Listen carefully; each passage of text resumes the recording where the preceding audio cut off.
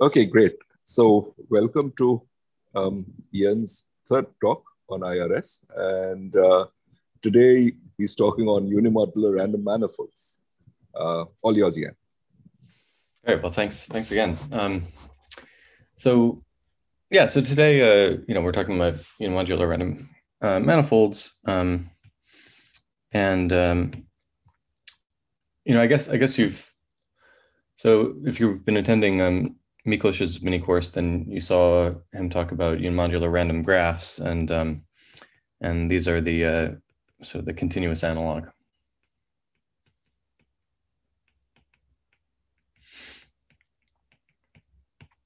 Okay.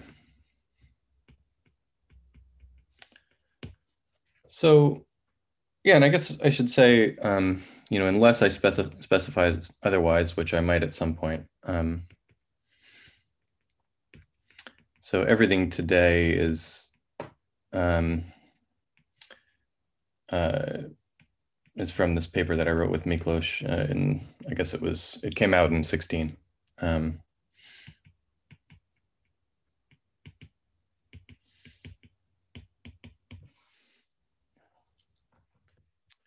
okay, so all right. So what's the what's the setup? Um, so when unimodular random graphs were introduced, um, so what, you know, a unimodular random graph was, um, uh, you know, the random element associated to a certain probability measure on the space of rooted graphs. And so here we need, um, you know, a continuous version of the space of rooted graphs, which is going to be a space of uh, pointed manifolds, uh, you know, rooted or pointed manifolds. So let's let uh, MD be all connected, um, complete, pointed Riemannian D manifolds.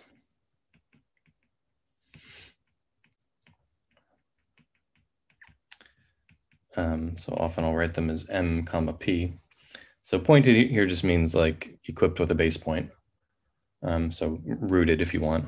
Um, and then so we consider them up to pointed isometry. So a pointed isometry is an isometry between the two manifolds that takes base point to base point.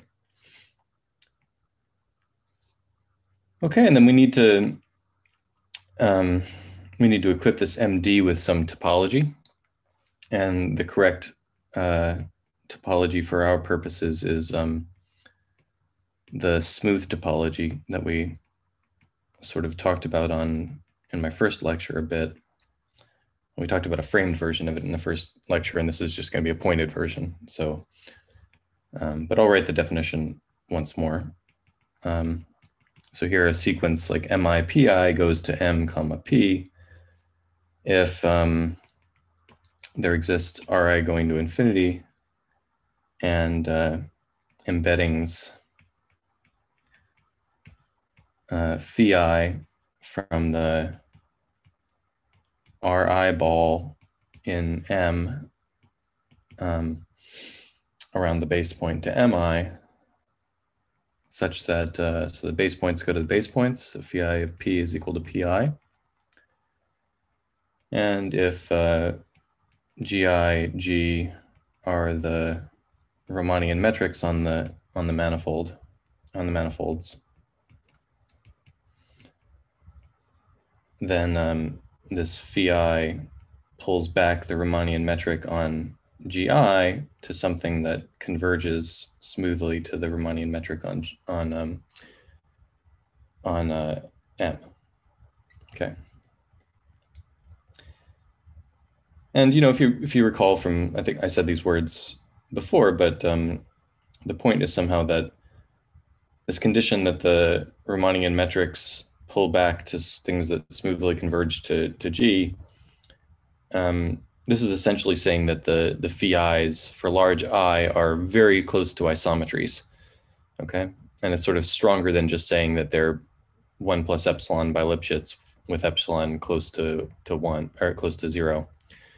Um, you know, it's it's something that takes into account all the derivatives of the metrics too. And so the, the metrics themselves are are close and the derivatives are close close on this huge ball around the base point. Okay. Um, and this is this is sort of the natural analog of of the of the topology on the space of rooted graphs that you might have um, uh, heard about earlier. It's just that um, you know the space of Riemannian manifolds has a little bit more flexibility in, uh, to it. So you're not, it doesn't make sense to just sort of require that the the R ball in in um, in M is is like isometric to the R ball in MI for large I. Um, you want to allow the metric to change a little bit. Okay, so this is um.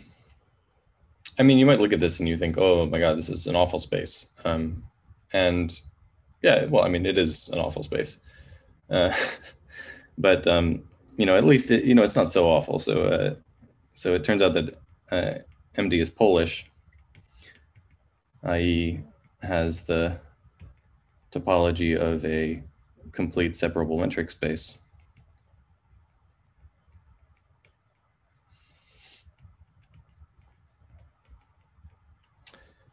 Okay, and this is this is important because we're going to do measure theory on this space later, and uh, you know, Polish spaces are the spaces on which you want to do measure theory. Um, so yeah, so so for this result, um, so Candel and uh, Alvarez Lopez and uh, Braulio, um, so they they uh, so they, they sort of proved this um, at the same time that we were proving it.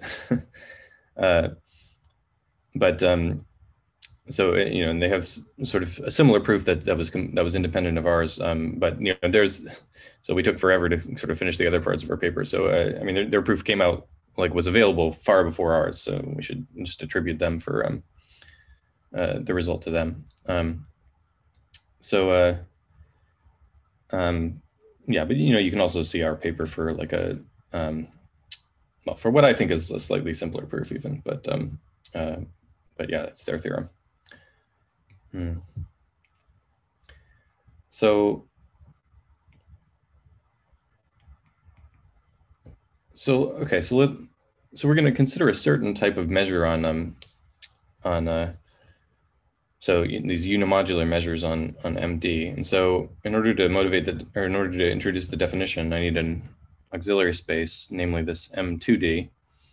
So this is the space of all doubly pointed um, manifolds. So,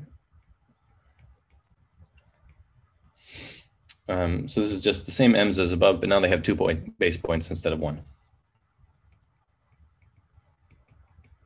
And then the equivalence relation is um, doubly pointed isometry. So you have a, an isometry from one manifold to the other manifold that takes, uh, you know, the first base point to the first base point, the second base point, to the second point base point.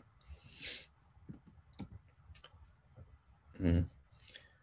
And then, and then here's the, the definition. So a, I mean, I guess I should say sigma finite. All measures are sigma finite today, at least, um, if not probability measures.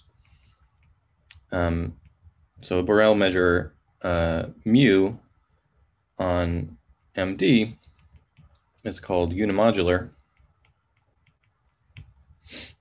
Um, so if, uh, so for all non-negative uh, Borel functions, f from m to d to r, um, we have the following equation. So what I want is that the integral over MD, so over all pointed manifolds, um, of the integral over all Q and M of f of m p q d vol m d mu is equal to, well, the exact same thing, except, um, so I can even just copy. I can try to copy again. Um, ah, no. Okay, so what's the what's the point? So um, so I want that integral to be the same integral, except I just switch P and Q in the integrand. Okay. So the deal is that, um, um, yeah, so, so, right. So, you know, in, in one of the integrals, the, the, the second thing, the second input to f is is coming from the uh, from the outer integral, and then the other integral that's coming from the inner integral. Um, okay, so this uh, this equality here is called the the mass transport principle. Um, um, which I guess I, I assume Miklos talked about at some point during his talk. Um, Yeah. Um, Yeah. Good. So, um, yeah, I mean, having having having all the the rest of the talks be in the middle of the night for for me makes it kind of difficult. So I, I, I apologize. Um, but uh, so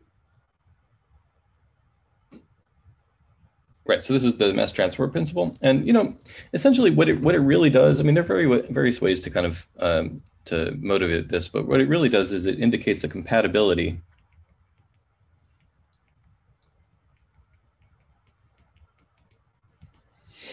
Um, you know, of uh, mu and the Riemannian measures of different m's.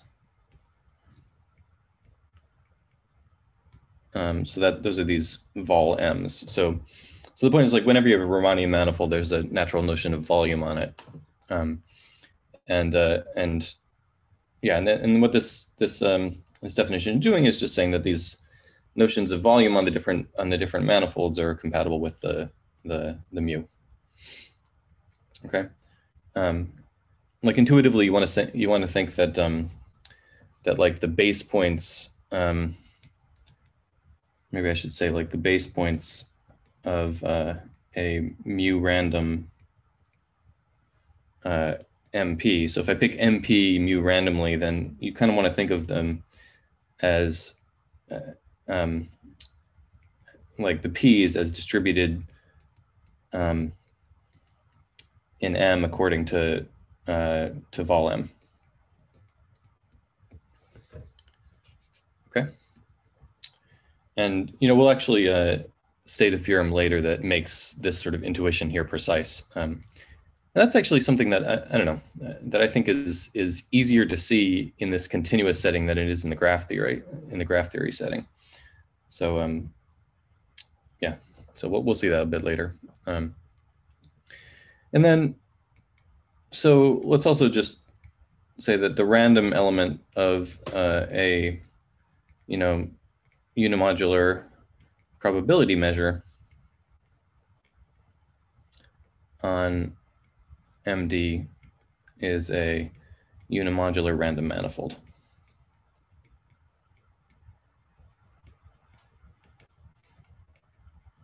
And sometimes we'll call that a URM. Any questions? You were working with M2D and somewhere it became MD. I'm, I'm, I'm not sure what happened there. Uh, could you explain? Uh, M2D? Yeah, well, M2D is um, is this space of doubly pointed manifolds. And um, yeah, and you need, so the, the function that you're taking is on M2D. Um, ah, but I then, see. Okay. yeah, so that, that allows you to plug in two inputs here. Um, but I think I think everything on the page is is correct. Uh, does that make, does that make sense? Got it. Yeah. Okay. Thanks. Cool. Mhm. Yeah. Um, all right, so let's do some examples. Um, all right, well, you'll see. So you'll see some examples that probably feel familiar from the IRS or the or the unimodular random graph setting. So the first one sort of corresponds to finite graphs. So so let's suppose M is a finite volume Riemannian manifold. Riemannian, like everything is sort of d-dimensional today. Um,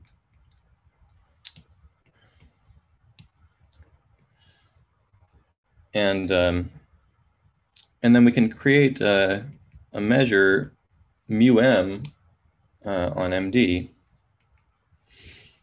Um, and this is the the measure on MD that you get by pushing forward um, just the measure vol. Hmm.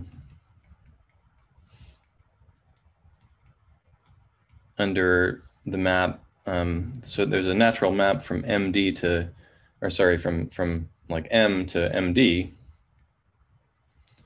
uh, that just takes a point P and M to the pointed manifold MP.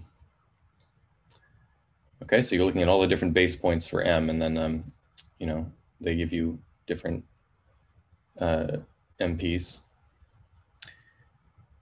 Okay, and then, you know, you, mu M is this push forward. Um, and then, all right, so where does the, uh, the mass transport principle come from, but well, I mean, the point is just that both sides of the of the mass transport principle are equal to, you know, just the integral over m cross m of f of m pq.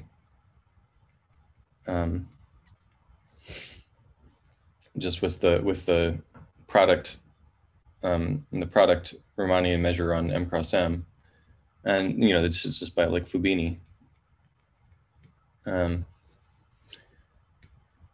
so, and so in particular, the two sides of the mass transport principle are the same. Um, and so the conclusion here is that M, you know, equipped with a random base point,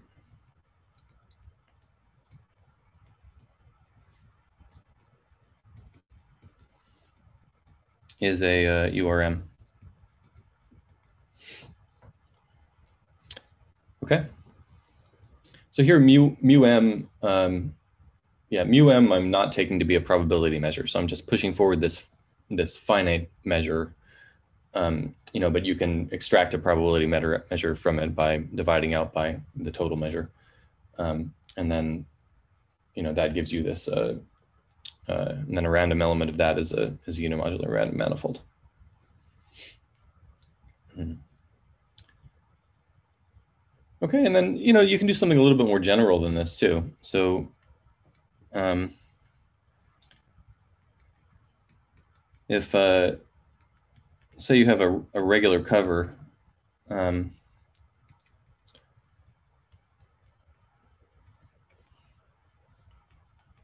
of um, you know a finite volume manifold M, then you know, I can do almost the same thing, but I can I can take the the push forward of um, of vol m under the map um, m goes to md uh, and now p here p and m goes to um, so not mp but like n comma p tilde where p tilde is some arbitrary point in pi inverse of p. Um, and then this, the push forward of the volume on M under this map is unimodular. Um, and so the, the, the point is that, um, you know, this map here is well defined um, because of the equivalence relation in the definition of MD. Um, right, since uh, you know points in in MD are equivalence classes up to pointed isometry. Um, or equivalence classes with respect to um, pointed isometry. And so the point is that no matter what, um, no matter what p tilde I pick, that's uh, that projects to p, um, you know, there's an element of the deck group, which is an isometry of n, that uh, takes one to the other. And so you actually get the same element of MD. And so this is actually a well-defined map.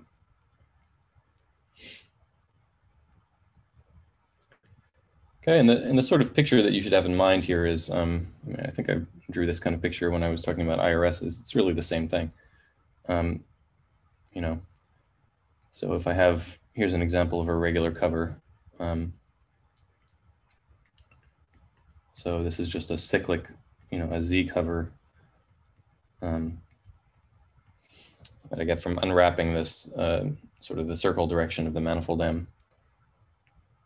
Okay, and then what's a what is the the URM that I'm describing? Well, it's like the so the unimodular random manifold that I'm describing is like n equipped from a base point chosen from this fundamental domain. Um, so the URM is n equipped from or equipped with a random base point chosen from some fundamental domain.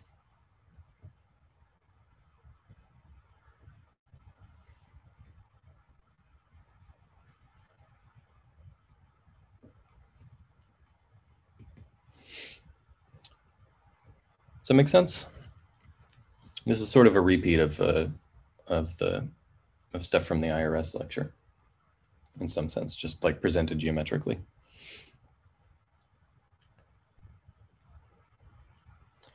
All right, so what are what are some other examples? Um, so let's suppose that uh, so this is like the analog of the transitive of transitive graphs. So let's suppose that X is a um, Riemannian D-manifold such that uh, the isometry group of X acts transitively. Um, then any base point um, P and X, you know, gives the same uh, element, which I'll just call sort of like X in MD. Okay, so remember, uh, elements of MD are really pointed manifolds, but they're up to pointed isometry. So if the isometry group of X transitively, then, then any base point gives you the same element um, of MD, and I can just call that X instead of X comma P. And then the, the proposition is that, well, so the atomic measure um, you know, one X, so just on this, the atomic measure on this point um, is unimodular if and only if G equals, you know, the isometry group of X um, is a unimodular Lie group.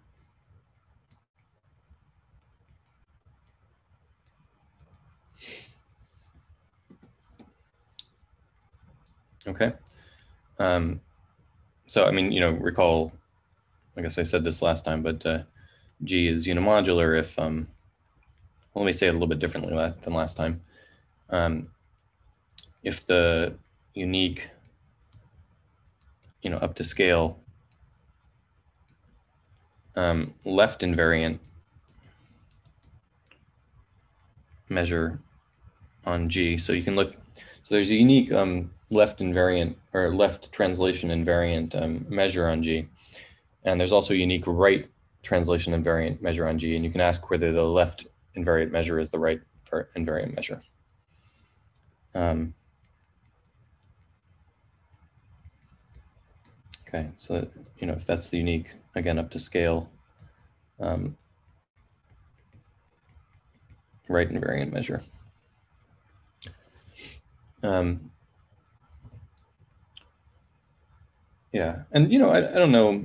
Um, well, I guess you know, this is maybe kind of believable because this kind of unimodularity condition, like we're saying, okay, a left something is is equal to a right something.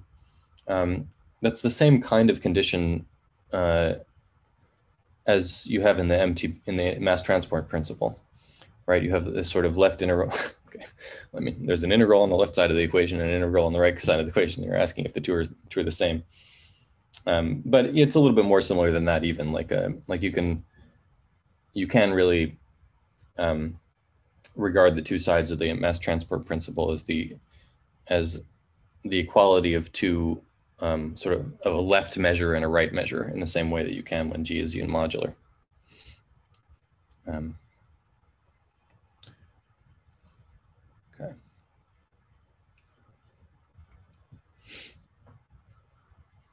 All right, so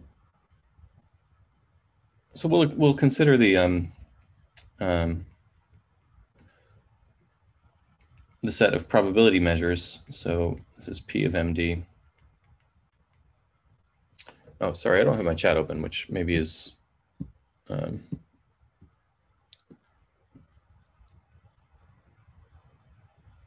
Ah, okay, right. So one question. Um, my understanding is that the manifolds M aren't assumed to be compact, so there is some obvious dying at infinity assumption on the functions F.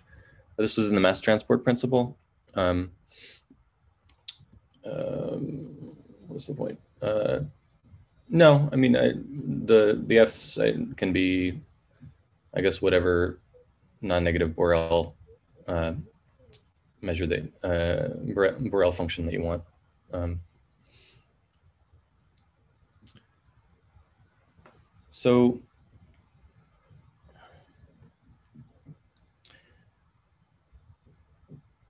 yeah, so let's see. So you have a, so we'll consider the set of probability measures. Um, on um, MD with the weak topology.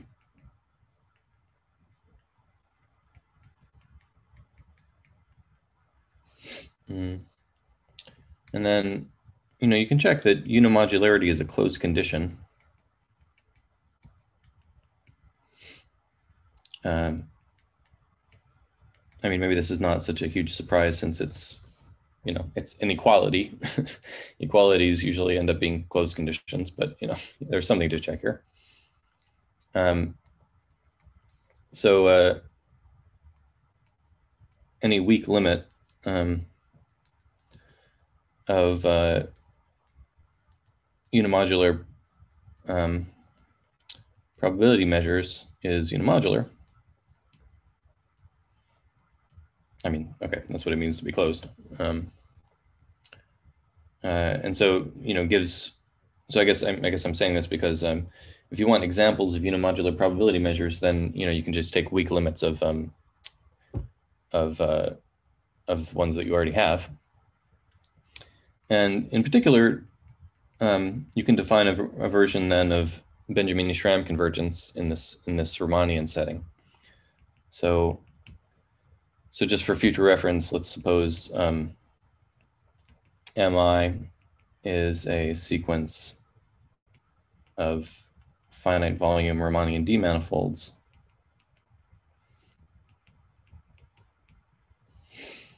Um, then you know we say that the sequence MI Benjamini-Schramm converges,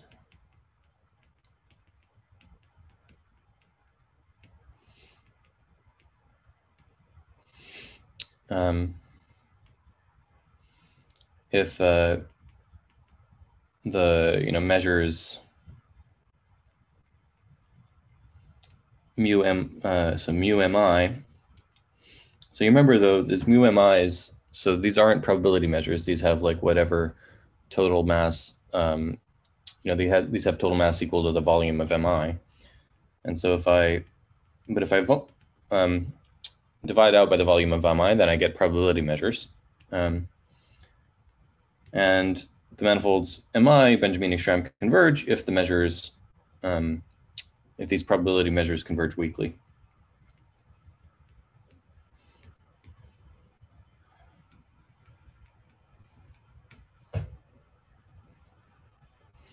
Okay. Mm. And then, all right. So, I mean, uh, probably at this conference, most people are are familiar with Benjamini-Schramm convergence, at least in the in the graph theoretic setting. Um, but uh, let me just okay. Let me just put like one intuitive example up so that we can think, so we can train our brains to think about Benjamini-Schramm convergence of manifolds. Um, so here's a, I don't know, maybe this is my favorite way to, to illustrate this in the manifold setting. So let's take the following manifold, the following surface as mi. So I want to take um, a surface that looks like that looks like the following. So in the middle, I have like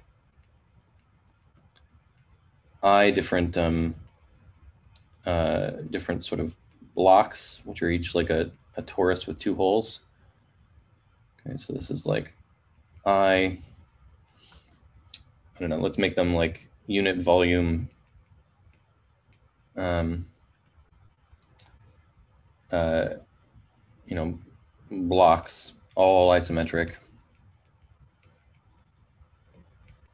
So I don't like really care what what is going on in each of the blocks. I just want them, to be all the same. And they're all glued together. Um, and then, so off the ends, I want to have like a big sphere. Um, okay, maybe there's another one over on the other end too. Uh, all right, so this is a, a uh, huge round sphere um, with volume I, say.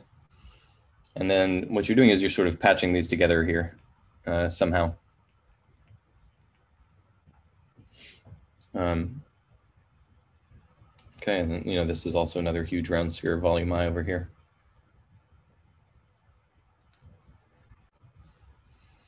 Okay, so so here's an exercise for us all to complete together. Um, uh, what does this converge to? Uh, what's the Benjamini-Schramm limit of this? Um, okay, so so the way that I'm thinking about this, um, you should think of the of the parts where I'm patching the pieces together as kind of irrelevant for Benjamini-Schramm convergence because I'm imagining that all happening in sort of a small volume set. Um, so in that case, like what's the, uh, yeah, what's the Benjamini-Schramm limit? Um, anybody want to chime in or, or, I mean, or we can just, I can tell you in a minute.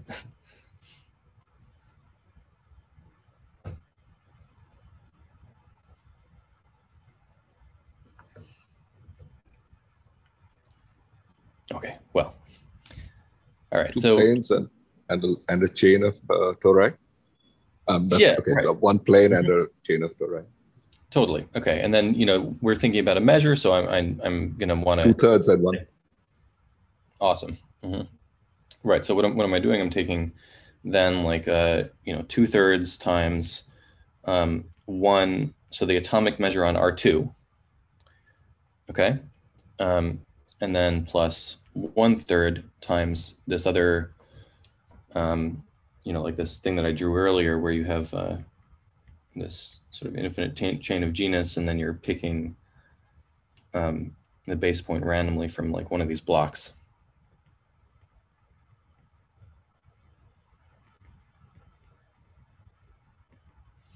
Okay, and like what I'm emphasizing here is that uh, uh, you know there's this little bit of flexibility in the metrics that's inherent in the smooth topology, right? And so the the point is that like as you take a sphere around uh, a, a bigger and bigger rounder, then you know it becomes flatter and flatter. Um, and so uh, so in the limit, you actually get a flat plane. Um, like you, you lose the spherical the sphericality in the in the limit.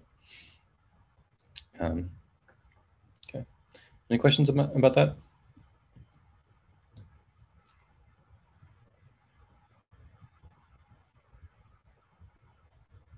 Okay.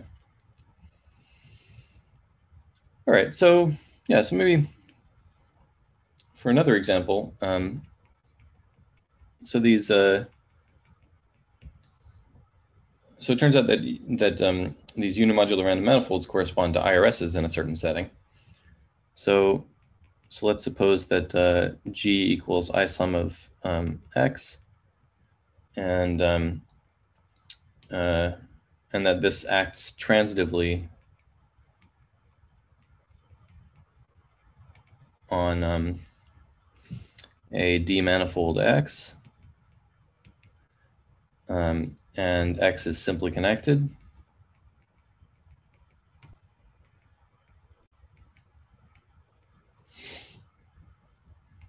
Um, then, so the, the map, um, so it, you know, we talked about this map last time where if you have a, or maybe two times ago, you know, if you have a a discrete torsion free uh, subgroup of G.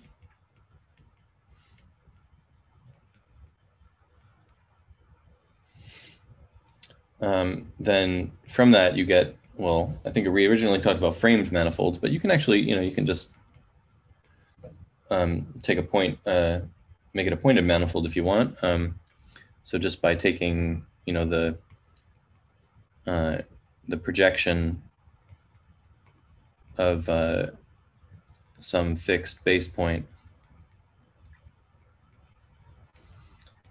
in um, uh, in x so uh, that's the px. Mm.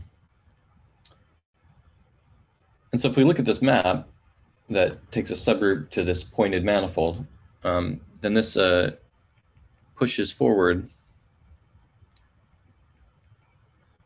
any you know g invariant measure on um, on sub g df uh, to a unimodular measure on um, on MD.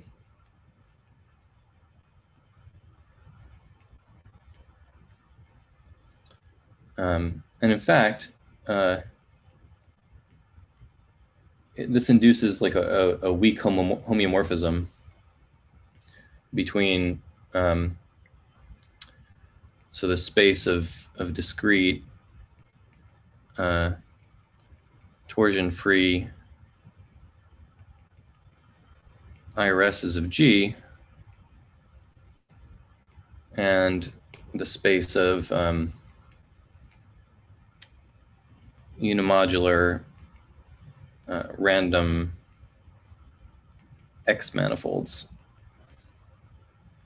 Um, so MP up to pointed ice, or well, yeah, in the space of unimodular random X manifolds. Okay, so here, uh, just recall that you know an X manifold is this is just a a Riemannian manifold of X. Um,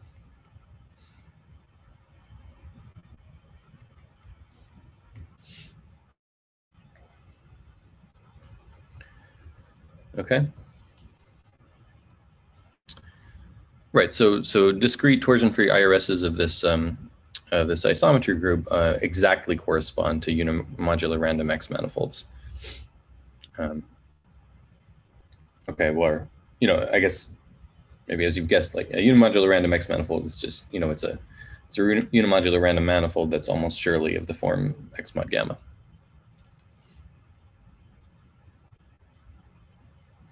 Any questions about that?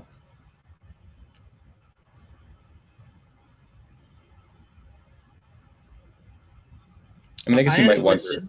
Yeah, what's up? Uh, yeah, not about this example in particular, but um, I was just trying to um, compare a unimodular random graph and a unimodular random manifold.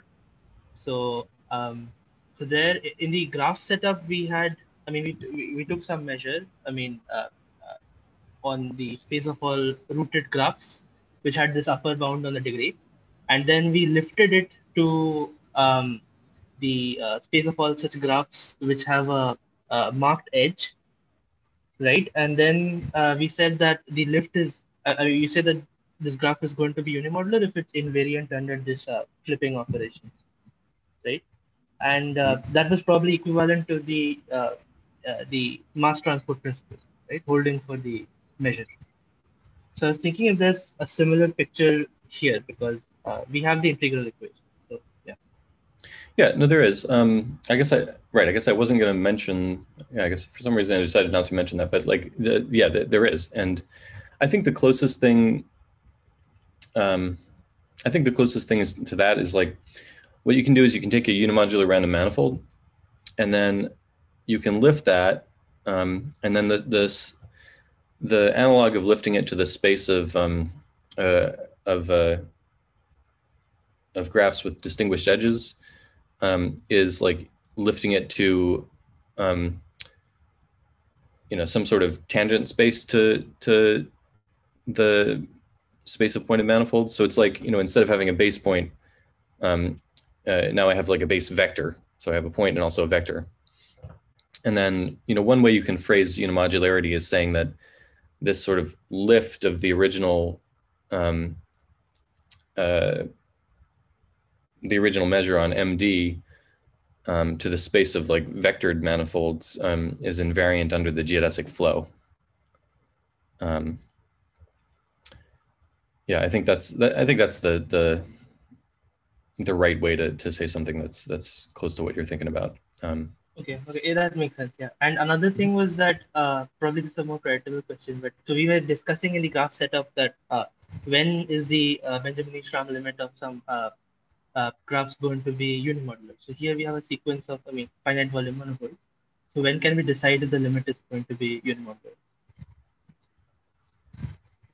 Um, well, you mean you, you were trying to take limits of things that weren't finite volume or? No, we had finite graphs. Uh-huh. And and uh, we were uh, we were taking the limit, Benjamini-Schramm limit, and we we're Uh-huh. trying to decide when that's going to be unimodular. So um, here we have the same thing really, same. It's not the same thing, similar picture really. So I was wondering, such a question uh, is plausible to ask them.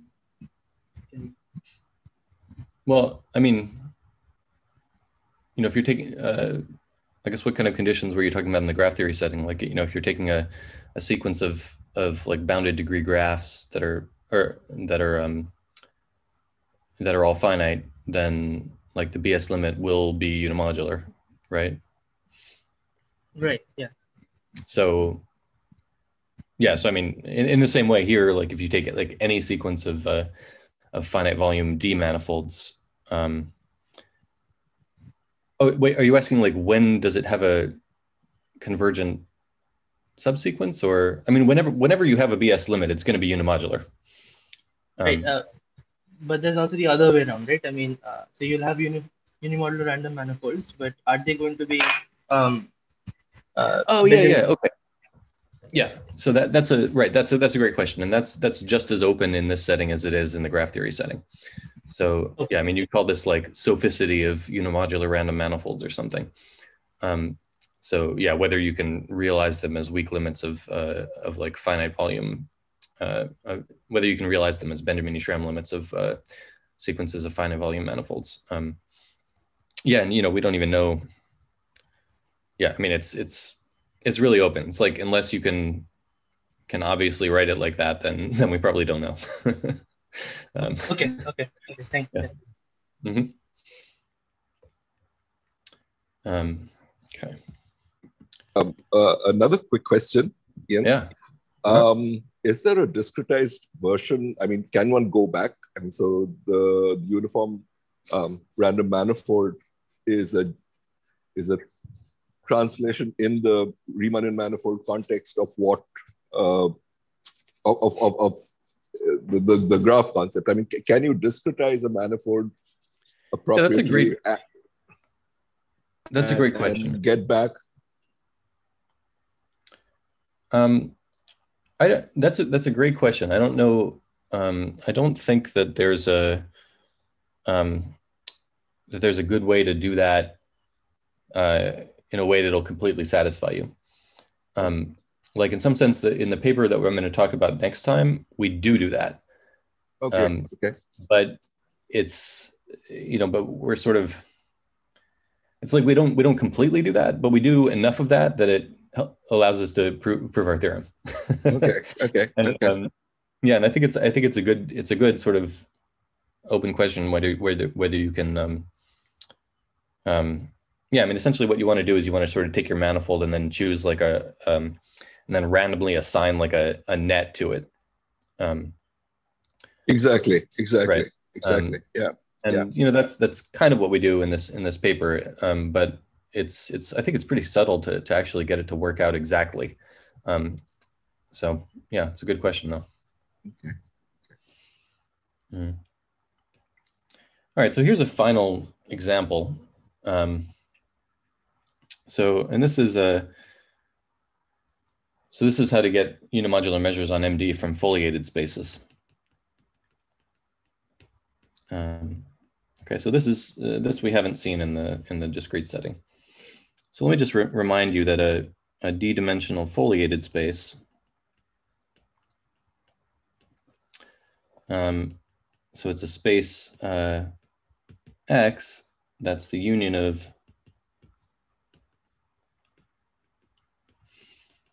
of um, D manifolds L called leaves, um, where so every point in, in X has a neighborhood of the form um, well, the neighborhood picture sort of looks like this. So um, so the neighborhoods of the form like B cross uh, Z, where um, where B and Rn is some open and Rd is is some open set. Okay, so the B is the uh, the horizontal here, um, and where each uh, B cross little z um, is an open subset of some leaf.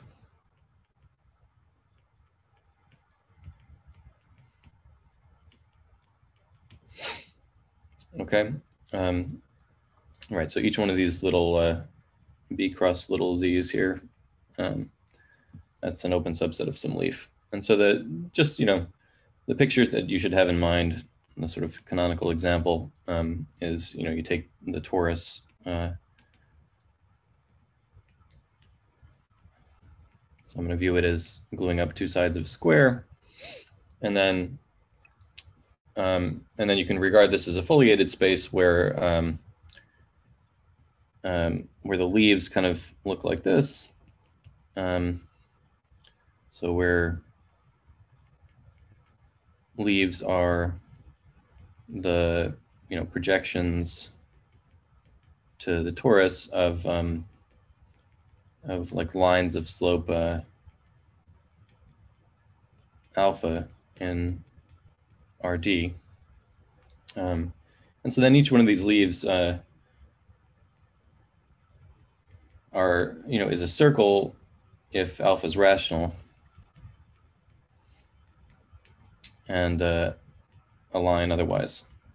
Um, okay, so you want to imagine like the leaves here, you know, you sort of follow along in the slope alpha direction, and then maybe that comes out down here, and then that comes out over here, and then that comes out over here, and sort of picture goes on for a while. Um, and either it closes up at some point if alpha is rational or it doesn't.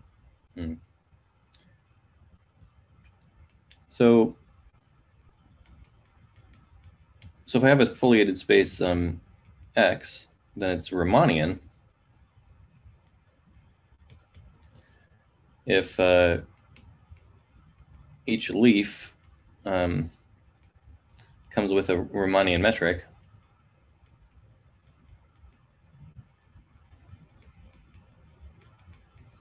and the metrics vary smoothly um, in the transverse direction.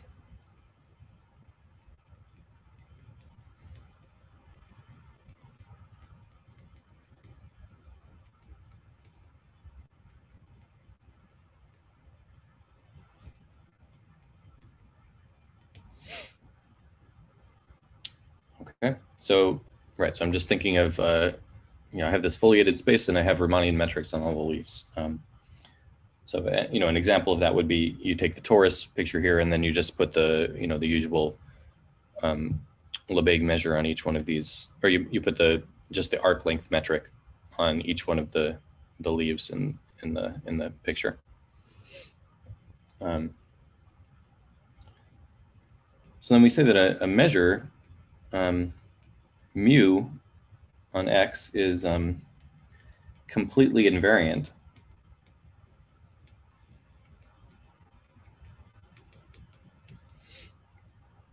If um, locally, so like in one of those those charts that I gave you earlier, uh, it is the integral of the Riemannian measures on the leaves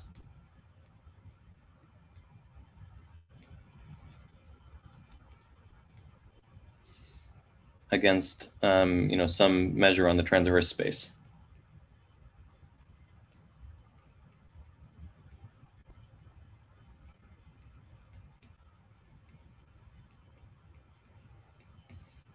Okay, so you remember the picture was was this. So I have all these um,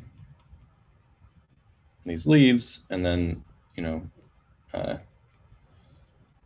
so I just want to say that it's a, you know, I have the Riemannian measure on each one of these, and then I'm integrating up those against some some z, and that's the local picture of this completely invariant measure.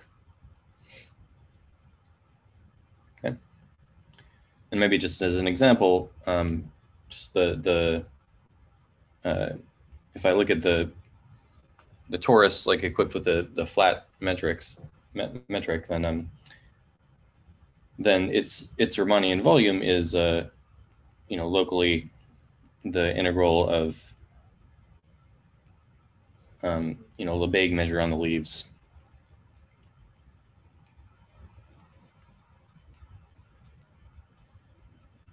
against um, Lebesgue measure in the transverse direction.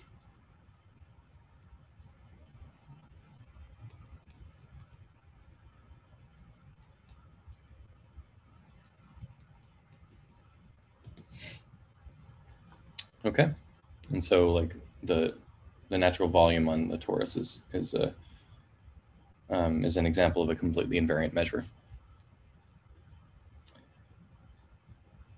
All right, and so then the, the, the proposition is the following. So if uh, mu is a, let's say, finite, um, completely invariant measure on a Riemannian foliated space,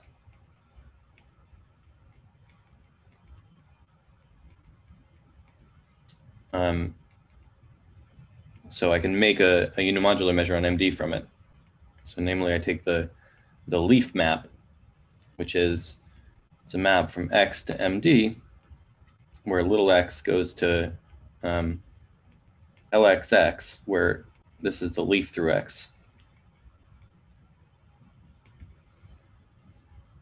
Then this leaf, leaf map is, is Borel and uh, pushes forward mu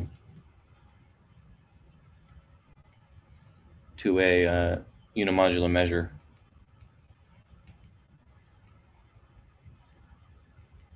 on MD. Okay.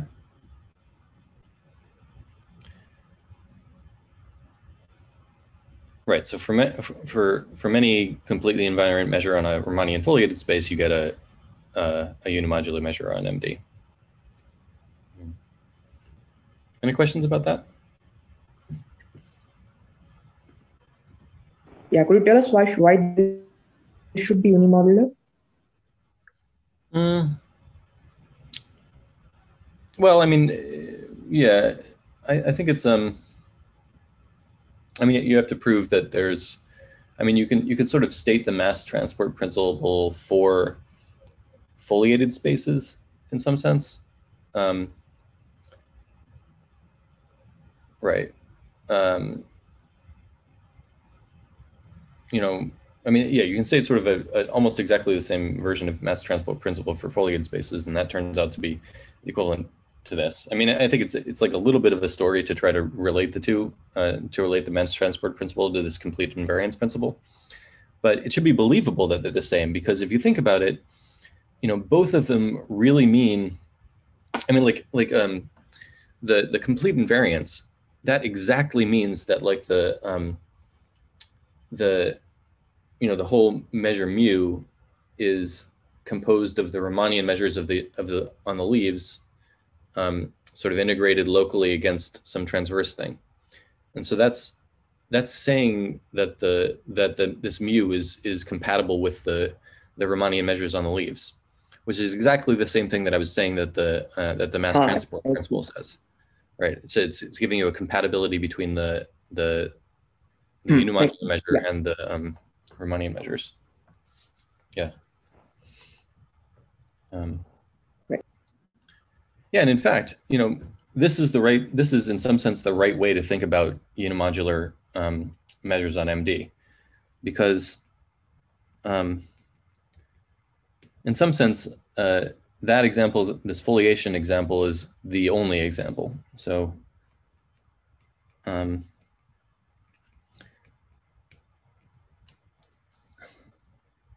because so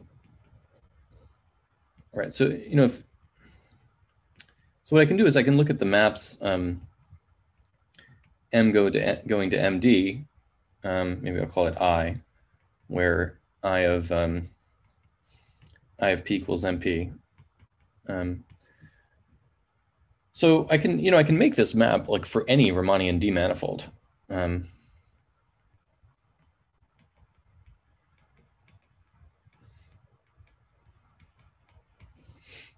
um, so not just, you know, earlier we were talking about only finite volume manifolds, but now just pick any Riemannian D manifold and you can you can make this map.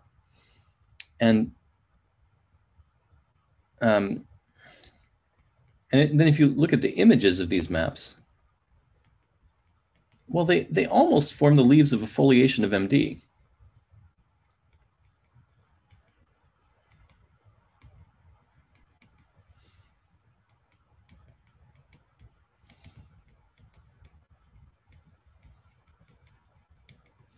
And you know, the only problem is that um, if you look at I of m,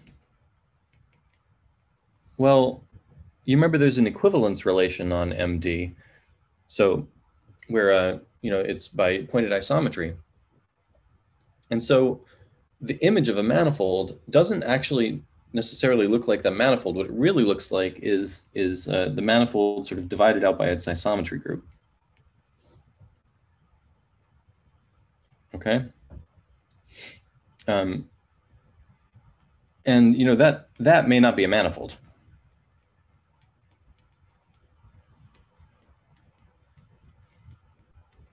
Um, I mean, you know, if the isometry group acts transitively, it's a point, right?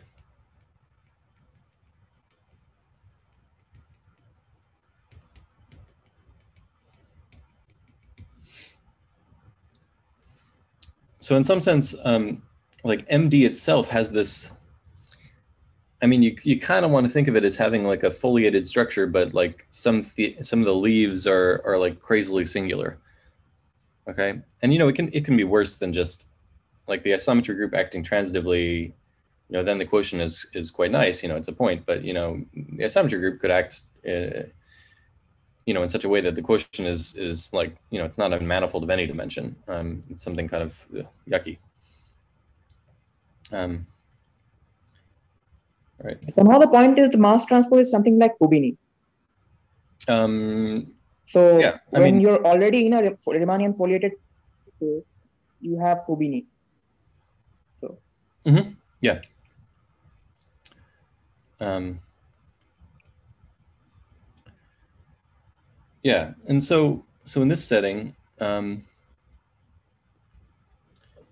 right? So so right. So I guess the point is like, okay, you want to regard MD as a as a foliated space, but you can't quite.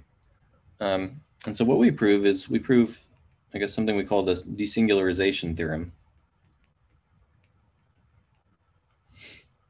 Um, and what that says is that there exists a, a Riemannian foliated space. Uh, maybe I'll call it PD, such that uh, every unimodular measure mu on uh, MD is the push forward of um, some completely invariant measure.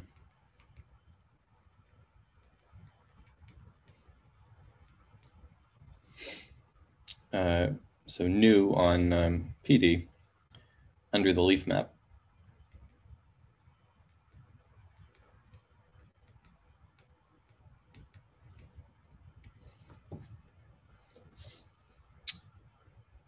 Okay, so the leaf map was the same thing as above, where you just take a point in in PD to like the pair leaf containing that point, comma point.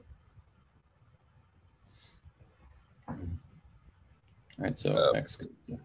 A- And the leaves of uh, PD are precisely all MDs? Or what, what is it? Um, yeah, right. The, the leaves of um, of PD are well. I mean, they're they're they range through all the different uh, um, D manifolds.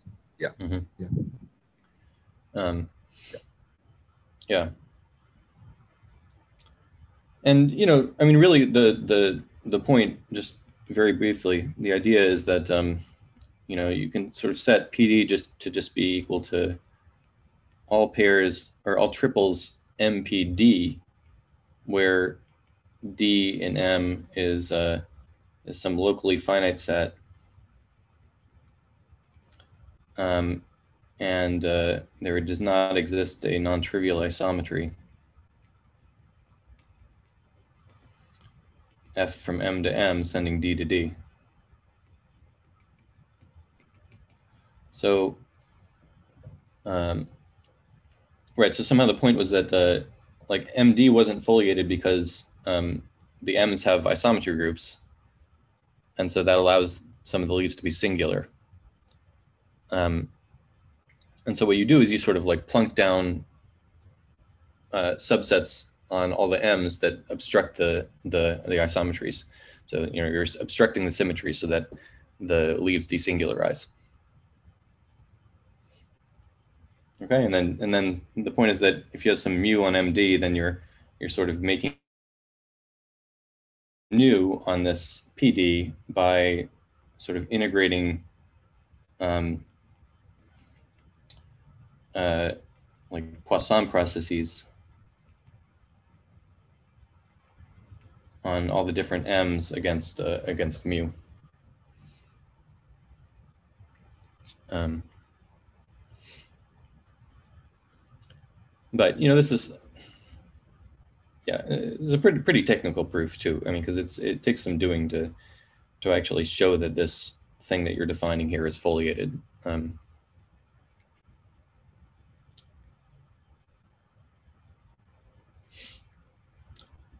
yeah. Okay. And then you know, as as just a remark, I I would say that um, uh, so this theorem uh, shows how unimodularity really means um, you know base points are distributed um, according to the you know volumes um, of uh, different m. Um, right because you know we said that that's a like that's that's sort of exactly what complete invariance of a, of a measure on a foliated space means. And so and this desingularization theorem is essentially saying that um, that unimodular measures on md uh, exactly correspond to um, uh, to complete invariant measures on um, to completely invariant measures on foliated spaces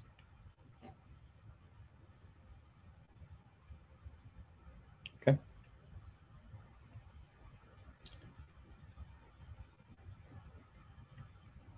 Yeah, and I guess I should maybe I'll just mention verbally that um, um, Alvarez Lopez and Barral Lijó uh, they they sort of in, independently prove a different kind of desingularization theorem for MD.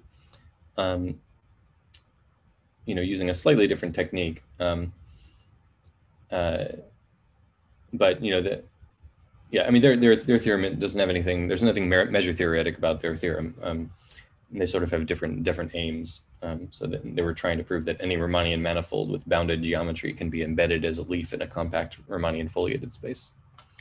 So, but they, they, they have a theorem that's that's kind of similar to this desingularization theorem. Any questions about that?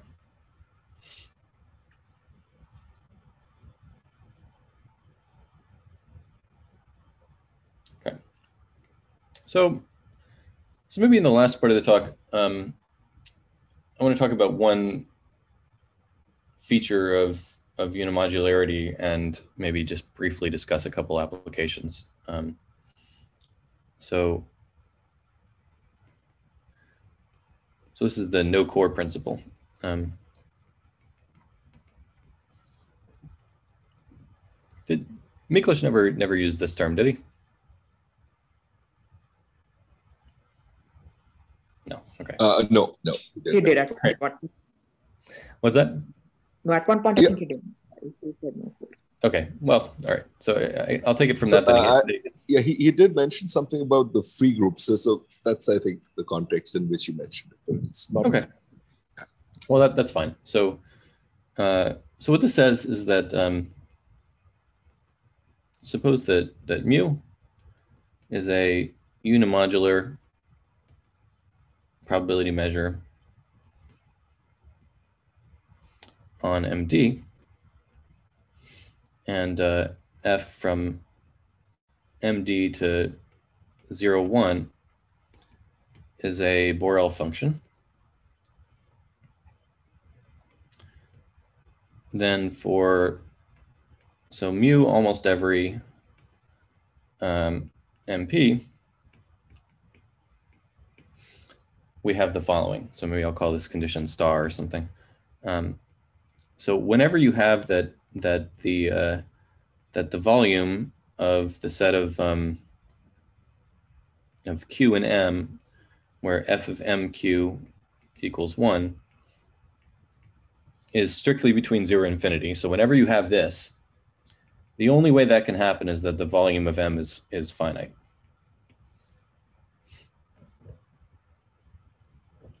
Okay.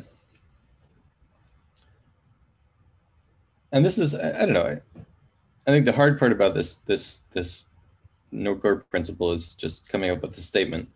Um, and so I, you know, I encourage you, you, you can, you can really just prove this as an exercise. I'm not going to do it now just to, I think it's better that I talk about the applications. Um, but it's really like you can you can write this down um, in like two paragraphs, just straight from the definition of the mass transport principle. Okay. Um, so yeah, so if you want to want to get some intuition for mass transport principle, try to do that. Um, but you know, I think maybe what's more important is to sort of understand what the what the statement says. Um, so what you should imagine is that uh, f of mq equals one when uh, q is in some sort of um, geometrically defined core of m.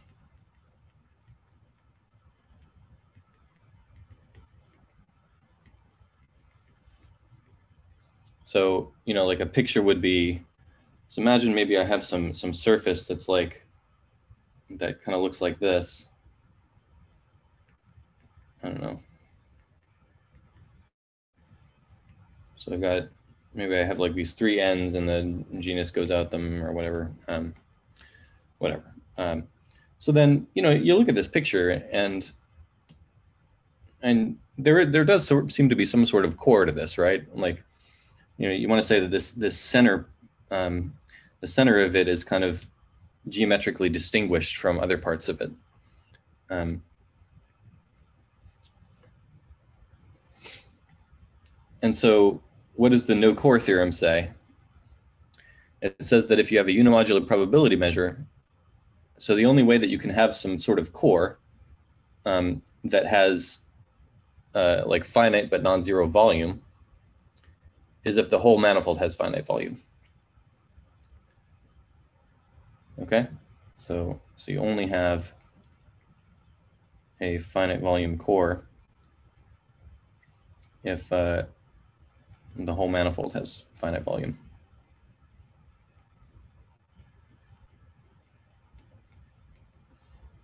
Okay, so in other words, like this picture that we're looking at here, this does not um, happen in a in a URM. Okay, so like this this this manifold does not um, does not occur in a URM. Does that make sense?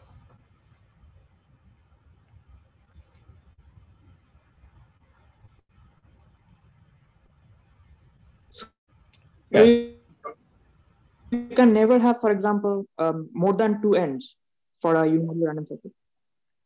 It, yeah, unless you have a yeah, so maybe like one one corollary of this. Um, uh, so I guess technically this was written down by Jean Jean Raimbault and, and myself in 17. So I mean, but it's this particular thing is not very hard. Um, so you know, a URM um, almost surely has um, either you know zero, one, two, or uh, a Cantor set of ends.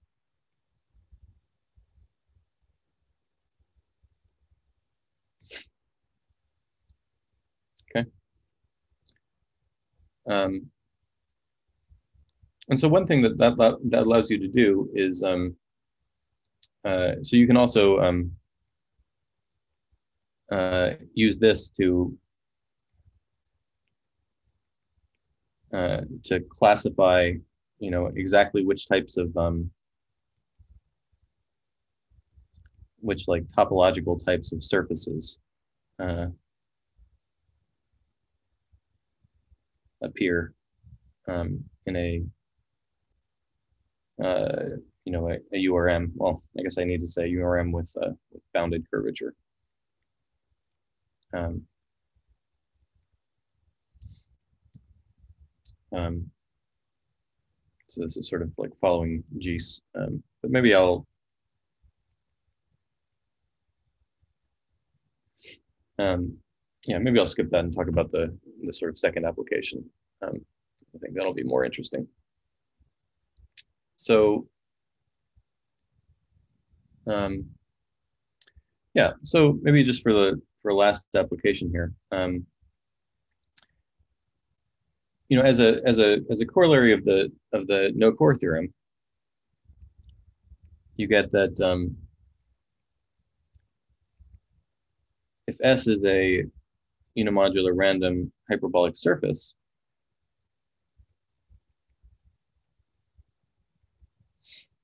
um, with finitely generated um, fundamental group, then almost surely S has um, has finite volume or is just H2.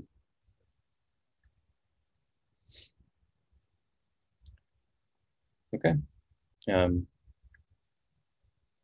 and you, you know the in other words, you could rephrase this as saying any discrete torsion-free finitely generated IRS of PSL2R is a lattice. Um, and you know the the proof of this is just that um, uh, you know hyperbolic surfaces not equal to H2 um, with a finitely generated pi one and uh, infinite volume have a sort of a, finite volume convex core. Um, you know. And the sort of picture you should have in mind is something like um, uh, I have this surface with geodesic boundary, and then there's some flare, and then the convex core is the, the surface except for the flares.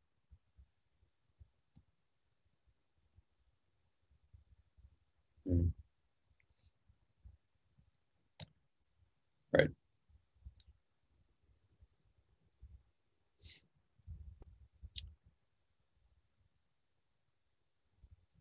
Yeah, and um, you know, and so you could also sort of ask about um,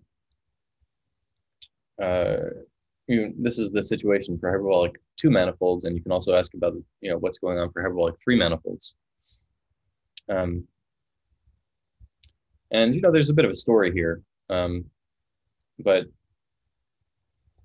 maybe I can just uh, state the the end theorem instead of telling you the story. Um, and so that says that um, right. So like, what about in three man in three dimensions?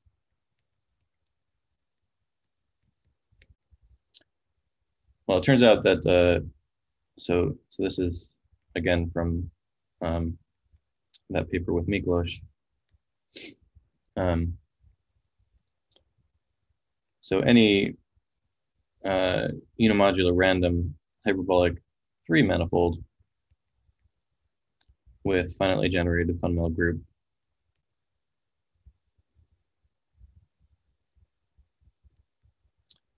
Is um, almost surely either uh, okay so you could have so it could be finite volume it could be um, just h3 and the only other option is um, uh, something called a so a doubly degenerate uh, hyperbolic three manifold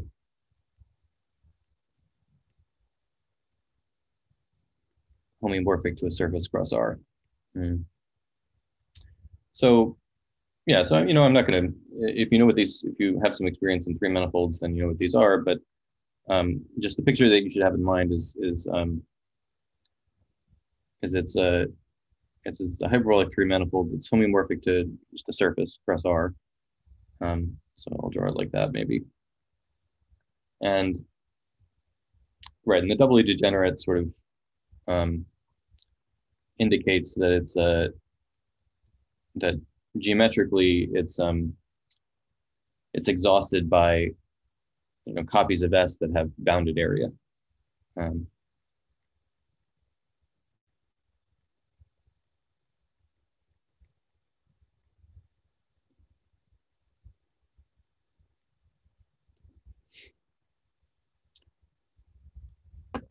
okay, and and you know really the point is that um,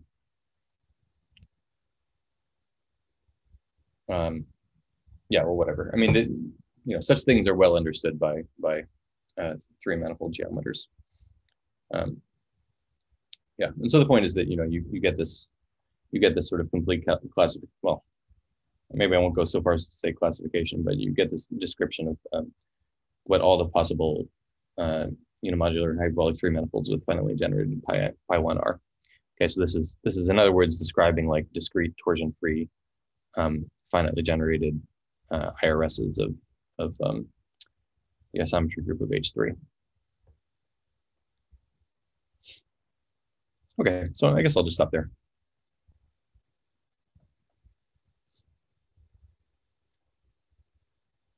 Okay, uh, thanks, Ian. Thanks very much. Um, any questions?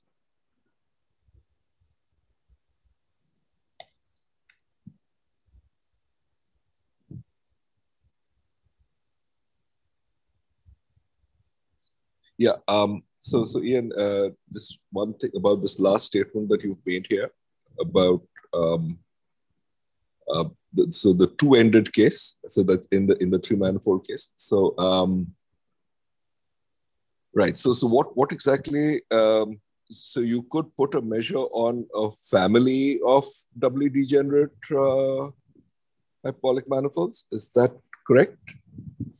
Yeah. So, um, so which means what? Presumably, say something like um, take the boundary of Teichmüller space, cross boundary of Teichmüller space, and uh, can one see basically if, if you have doubly degenerate manifolds that's parameterized by two ending laminations right so some i mean there, there are all kinds of ergodicity theorems about the action of the mapping class group on on this boundary cross boundary so um, can one say something like which are the ergodic components here or I mean, that's a, that's a good that's a good question. I don't think um uh yeah I, I mean I'm sure nobody has has worked on that uh, so far. Like the you know in the in the the seven author paper um we do construct a whole bunch of um of uh you know unimodular measures that are supported on um, these doubly degenerate three manifolds, but they're they're all they're all created. Um, so we don't we don't like try to parameterize them via ending invariants. Like we what we do instead is is just take like um you know take take mapping tori, uh, like you know construct a sequence of mapping tori, and then just extract a weak limit of those measures. Uh huh. Um, okay. And uh, and you know that's a that's a pretty robust construction because you can use all Yeah. the Yeah. the model technology to understand what the limits look like. Um, Yeah. But yeah, but we haven't we haven't done anything trying to to understand them from the end invariants. So you know, I think that would be that would be interesting. Okay. Okay. Thanks. Mhm. Um, yeah. And, and any other questions? Yeah, I apologize if the last part was kind of fast. No, it's, it's it's yeah, it's very interesting. Thank you. Um, okay, so so thanks, Ian, and uh, we look forward to the the next talk on Thursday. Thanks a lot. Thanks a lot. Yeah, pleasure. Mhm.